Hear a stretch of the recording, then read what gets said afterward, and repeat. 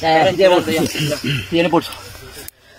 Bueno, señores. No, por aquel lado. Ven y me Una buceta de servicio público que cubría la ruta Aguachica-Río de Oro cayó a un abismo, dejando el saldo de dos personas muertas y más de 10 heridas. Los lesionados fueron trasladados a diferentes centros asistenciales.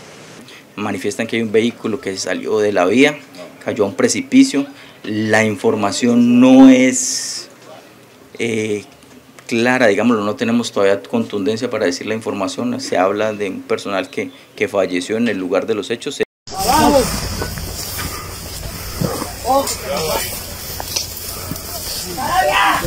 Ya voy, ya voy, ya voy. Líquido, líquido, líquido.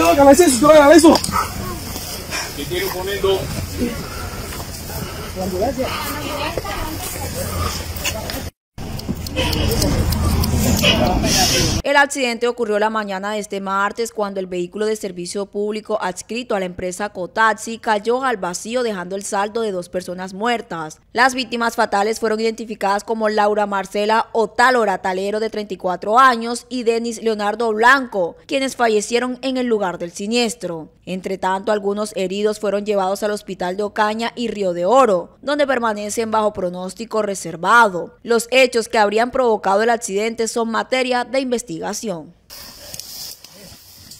Ayúdenos, ayúdenos. Deja ahí, deja ahí. Ven. Hijo, ey. Ey. Ya, ya, ya. Ya, ya, tiene pulso, ya. ya. Tiene. Bueno, señores. No, por aquel lado.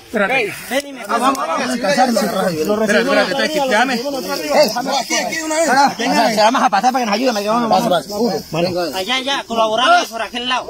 Tres, tres. Vamos. Bueno, bueno, ya. Vamos.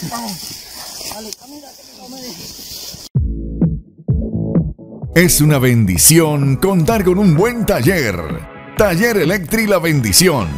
Te ofrece una gran calidad de servicio en mantenimiento general, reparación del sistema eléctrico, reparación de aires acondicionados.